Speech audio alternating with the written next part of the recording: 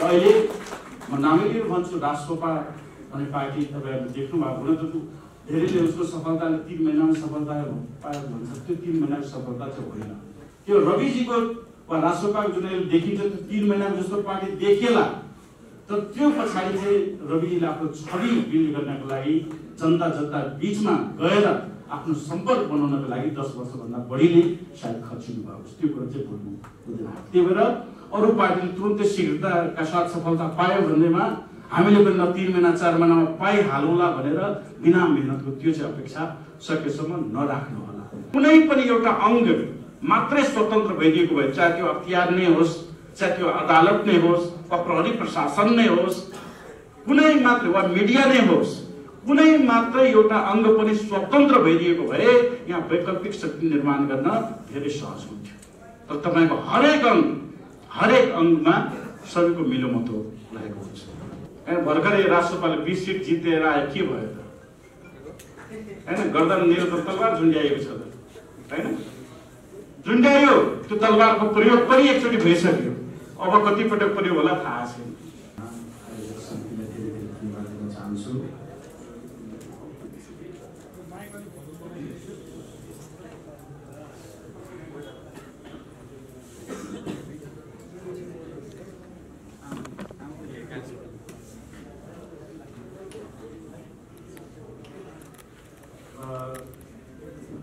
महाधिवेशन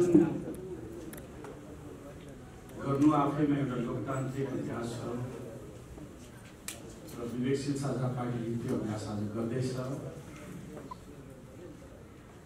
त्यो एकदम सफल होस् नयाँ पदाधिकारीको चयन होस् ऊर्जाशील समितिहरू बनाउनु।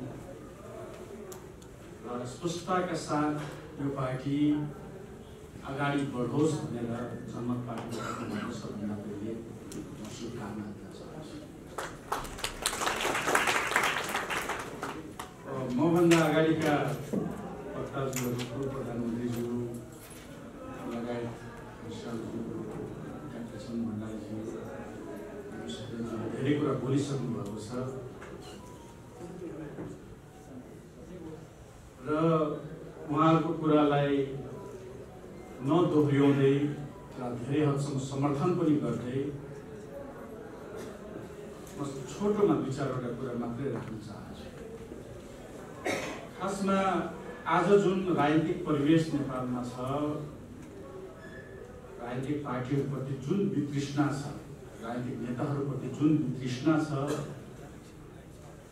सायद अनुमान गर्नुहुन्छ होला नेताहरूलाई गाली नगर्ने जनता कति प्रतिशत छ?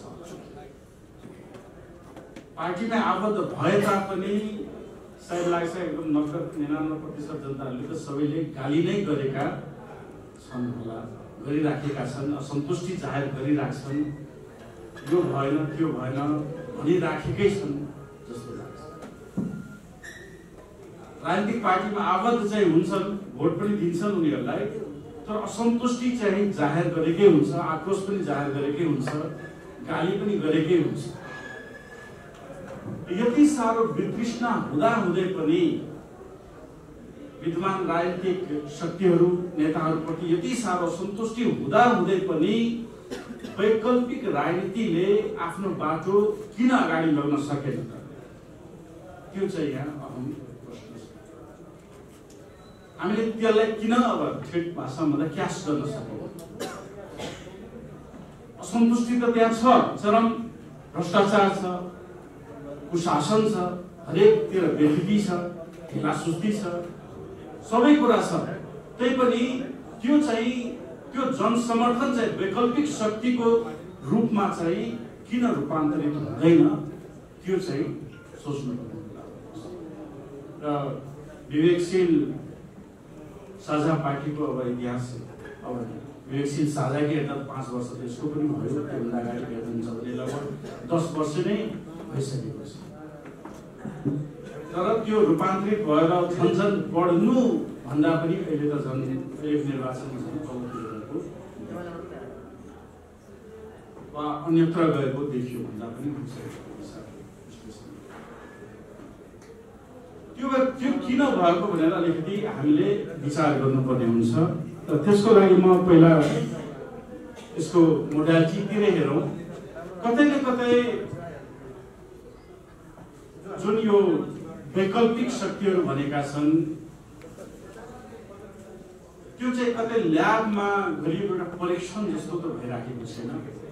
गमलामा राखेको फुल पनि उहाँले दिँदै हुनुहुन्छ। त्यो गमलामा राखेको गुलाब जस्तो त भइराखेको छैन। किनकि राजनीतिमा टिप्नको लागि गमलामा राखेको गुलाबले पुग्दैन जङ्गलमा राखेको गुलाब जस्तो अनि मात्रै डाक्टर चन्द्र भण्डारीले भर्खरै भनेर पनि जानुभयो। तर असन्तुष्टि हुँदैमा जनताले विकल्प खोज्दैछन् भन्दैमा राजनीतिक पार्टीहरूले विद्यमान राजनीतिक दलहरूले निकास दिन सक्दैनन् भन्दैमा तपाईँले कसैले रेड कार्पेट ओछ्याएर स्वागत गर्नुभएको छ त्यो भ्रममा छ तपाईँहरूको लाग्छ होइन? हामी चाहिँ एकदम अरूभन्दा स्वच्छ छौँ। मेरिट बोक्दछौँ त्यति भएपछि त हामीलाई पुग्छ नि जनताले हामीले पहिचान गरिहाल्छ नि मौका दिइहाल्छ नि भनेर सोच्नुहुन्छ। तर त्यो चाहिँ देखिएन देखिँदैन पनि। र आगामी दिनमा पनि देखिँदैन किन? तपाईँलाई कसैले त्यहाँ स्वागत गर्नको लागि बसेका छैन। त्यो हामीले वैकल्पिक शक्तिहरूले लिएको आदर्शवादी चिन्तन र व्यवहारमा देखाएका प्रयोगशालामा परीक्षण गरे जस्ताका आन्दोलनहरूले मात्र पर्याप्त हुँदैन भन्ने कुरा बुझ्नु आवश्यक छ। ठिक छ? यसका सूत्रधारहरूले जो थापाज्यूले के नयाँ राजनीतिक संस्कारहरू पक्कै दिए आशा पनि जगाए। माइतीघर मण्डलमा जम्मा हुनुहुन्थ्यो आन्दोलनका विभिन्न मोडालिटीहरू देखाउनुहुन्थ्यो। त्यसले केही हदसम्म प्रचार पनि भयो। तर मलाई इमान्दारीपूर्वक सोध्नुहुन्छ भने म त्यही भन्छु त्यो चाहिँ प्रयोगशालामा गरिएका परीक्षणहरूभन्दा बढी चाहिँ थिएन। त्यसको जनस्तरसम्म कतै पहुँच थिएन माइतीघर मण्डलमा भयो त तपाईँहरू कति गाउँपालिका वा कति वार्डमा आन्दोलन गर्न सक्नुभयो त्यो कुरा महिना लाग्छ। र तपाईँहरूभन्दा यो वैकल्पिक शक्तिहरूभन्दा राजनीतिक पार्टीहरू स्थापित राजनीतिक पार्टी किन अगाडि छ भन्दाखेरि उसले एउटा प्रेस विज्ञप्ति जारी गर्यो भने हरेक वडामा आन्दोलन सुचारू हुन सक्छ। त्यो फरक छ। त्यही भएर हामीले स्याम्पलको रूपमा कुनै कुरा डेभलप गर्दैमा त्यो अगाडि गइहाल्छ भनेर सोच्नु हुँदैन। त्यसको म एउटा अर्को पनि उदाहरण थप्न चाहन्छु। मानौ ठिक छ? यो मार्केट सम्बन्धी नै उदाहरण दिउँ। मानौ तपाईँले अब होइन सबै चाहिँ बजारमा भएका घिउ वा कुनै प्रोडक्ट लिँदा घिउ नै लिउँ। होइन? एकदम विकृत भए होइन? कन्टामिनेटेड भए होइन? अशुद्ध भयो भने तपाईँले एकदम शुद्ध घिउ बनाएर ल्याउनु भयो तपाईँ सोच्नुहुन्छ होइन मैले त आफ्नै गाईको आफ्नै भैँसीको शुद्ध घिउ बनाएर दिएको दिइराखेको छु भने त जनताले लिइहाल्छ तर यथार्थमा त्यो चाहिँ हुँदैन। यथार्थमा तपाईँलाई पहिला बजारसम्म पुग्नै गाह्रो हुन्छ। पहिला त्यसको मार्केटिङ चाहिन्छ। त्यसपछि ब्रान्डिङ चाहिन्छ। जनतासम्म पुग्न सक्नु पर्यो बुझ्न सक्नु पर्यो र त्यति भइसक्दाखेरि तपाईँले फेरि सुपर मार्केटको दबाब झेल्नु पर्ने हुन्छ। सिन्डिकेटको दबाब झेल्नु पर्ने हुन्छ। र कदम कदा चाहिँ तपाईँ सबै कुरा यो चरणहरू पार गर्दै सुपर मार्केटको पुग्नु भयो भने पनि त्यसपछि तपाईँलाई बदनाम गर्नको लागि यसको घिउमा त किरा पर्यो भनेर प्रचारबाजी हुन थाल्छ। अहिले भइराखेको यसैलाई तपाईँ हेर्नुहोला। अरू दलहरू पनि आएका छन्। अहिले भइराखेको त्यही हो। त्यही भएर हामीले यी कुराहरूमा वैकल्पिक शक्ति चाहने यी कुराहरूमा ध्यान दिनुपर्ने आवश्यक छ। खालि चाहिँ म एकदम सक्षम छु म विज्ञ छु म इमान्दार छु म प्रतिबद्ध छु भन्दैमा चाहिँ जनताले पत्याइदिँदैनन् जनताले मत हालिदिँदैनन् र अरू पार्टीहरूले तपाईँले बाटो छोडेर रेड कार्पेट बसेर स्वागत यतिमा चाहिँ स्पष्ट हुनु होला र त्यही अनुसारको आफ्नो कार्यनीति आफ्नो सिद्धान्त आफ्नो नीति अगाडि बढाउनु होला त्यसपछि मात्रै सफलता पाउन सकिन्छ जस्तो लाग्छ। अर्को कुरा उदाहरण म दिन चाहन्छु। एउटा उदाहरण अर्कै दिउँ यहाँ पनि जस्तै अब कुनै अन्डा हुन्छ। अब हिजो मात्रै एउटा का कथा भनेको थिएँ सरलाई एउटा कार्यक्रम थियो।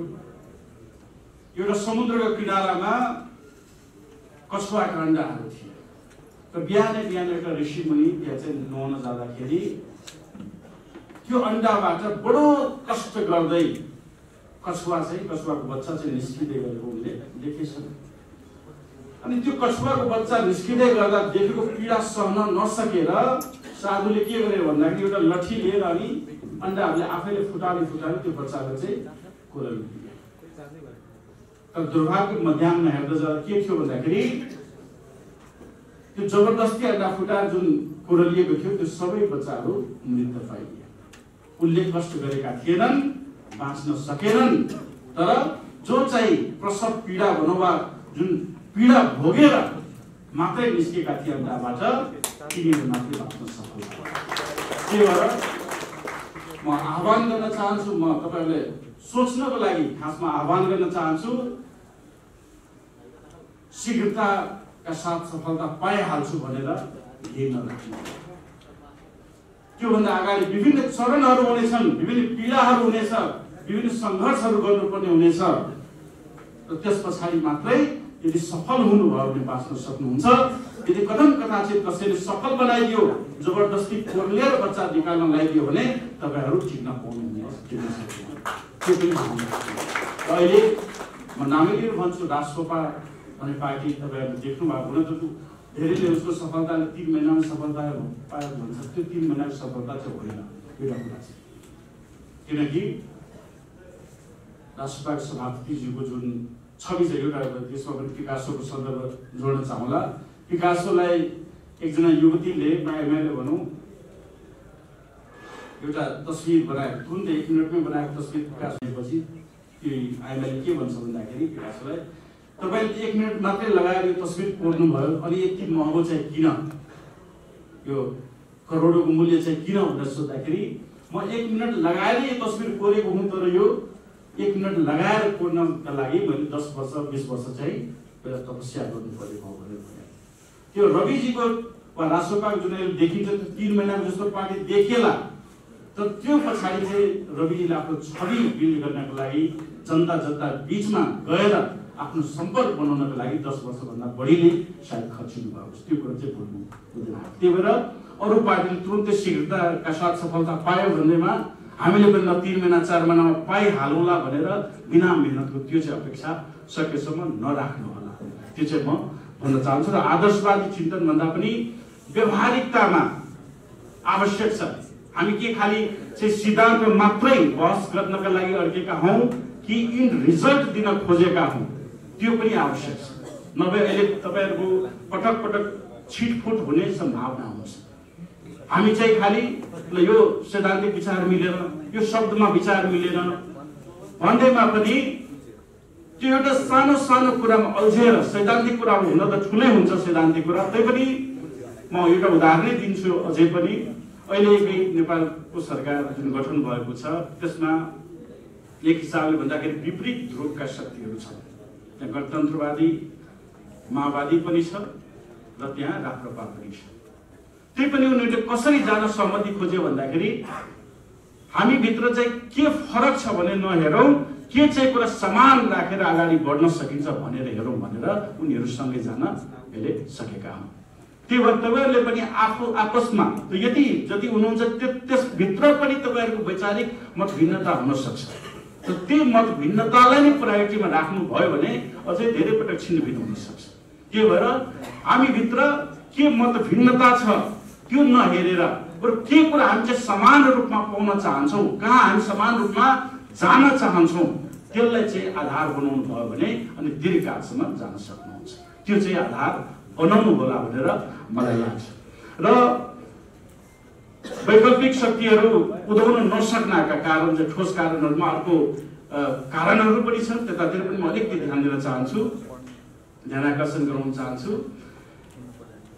अब के हुन्छ भन्दाखेरि मान्छेले अब यसो उदाहरण दिन्छ। आम आदमी पार्टी हेर्नुहोस् त कति चाँडै सफल भयो। सफल भयो नि हामी पनि हुन सक्छौँ भन्छ। त्यसका लागि के आधारहरू छन् भन्दाखेरि भारतमा कमसेकम शक्ति पृथकीकरणको सिद्धान्त धेरै हदसम्म पुरै हन्ड्रेड पर्सेन्ट त भन्न सकिँदैन तर धेरै हदसम्म त्यो देख्न सकिन्छ। नेपालमा हामी कहाँ छ त? यहाँ छैन। होइन? नेपाल सरकार अब सरकारले चाहिँ मन्त्री परिषदले न्यायपालिकामा हस्तक्षेप गर्छ न्याय होइन नियुक्ति गर्छ।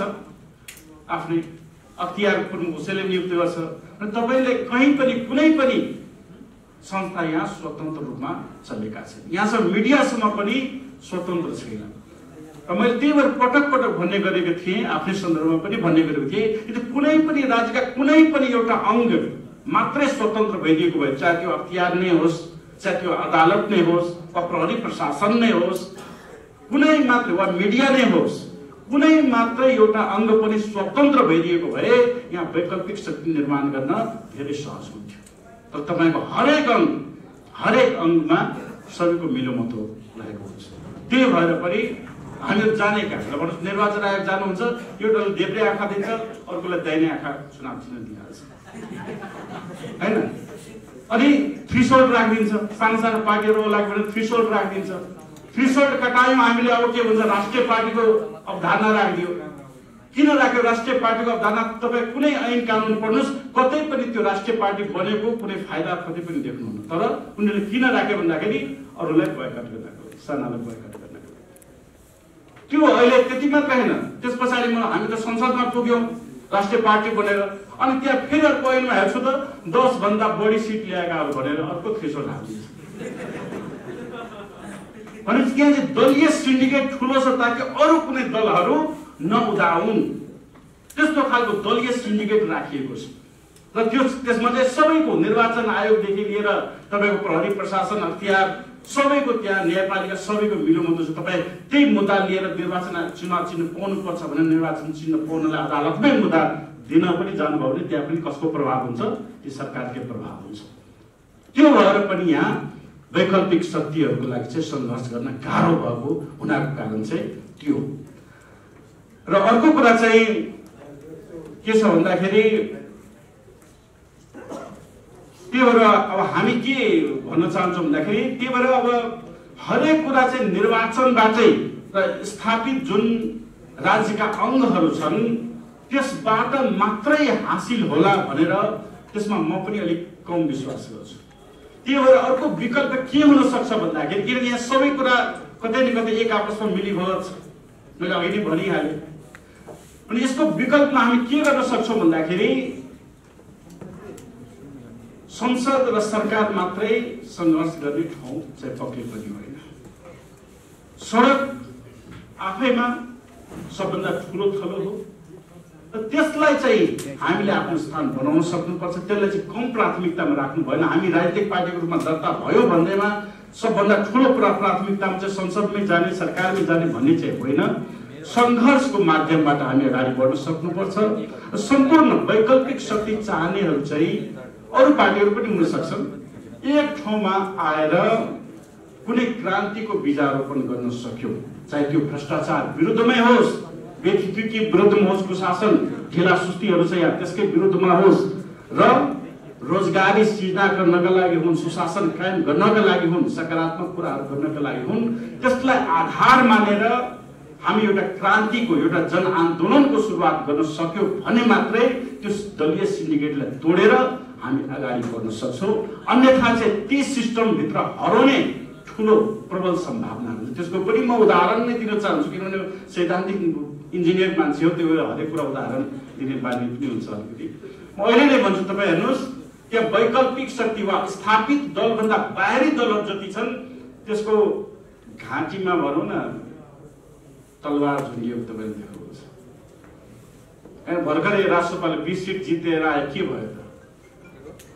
होइन? गर्दन लिएर त तलवार झुन्ड्याएको छ होइन? झुन्ड्यायो त्यो तलवारको प्रयोग पनि एकचोटि भइसक्यो। अब कतिपटक प्रयोग होला थाहा छैन। अर्को पार्टी हेर्नुहोस् नागरिक अनुमति पार्टी भर्खरै उदायो।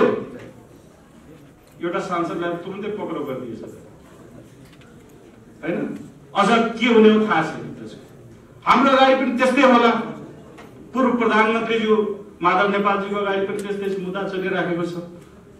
अर्को पूर्व प्रधानमन्त्री डाक्टर बाबुराम भट्टराजी भर्खरै जानु उहाँ अगाडि माथि पनि मुद्दा चलिराखेकै छ। जति पनि वैकल्पिक शक्तिको एजेन्डा बोकेर आउँछन् स्थापित दलहरूले त्यतिकै छाड्दैन। कतै न कतै उहाँहरूको गर्दनको पछाडितिर तलवार झुन्ड्याएर राखिएको छ। त्यही भएर खालि चाहिँ यो स्थापित तरिकाबाट मात्रै जा माध्यमबाट मात्रै जान सक्छौँ संसद र सरकारसँग मात्रै जाने हाम्रो ध्येय हो भनेर नराखेर एउटा साझा एजेन्डामा भ्रष्टाचार विरुद्धमा सुशासनको लागि रोजगारी सिर्जना गर्नको लागि यस्तो एजेन्डा राखेर वैकल्पिक शक्तिहरूले क्रान्ति र जनआन्दोलन गर्न सक्ने आग्रह गर्न सक्नुपर्छ। अनि मात्र हामीले आफ्नो बाटो आफै निर्माण गरेर अगाडि बढ्न सक्छौँ र त्यसको लागि सु म पुनः एकचोटि यो महाधिवेशनको सफलताको लागि शुभकामना दिँदै यहाँबाट बिदा हुन चाहन्छु। धन्यवाद।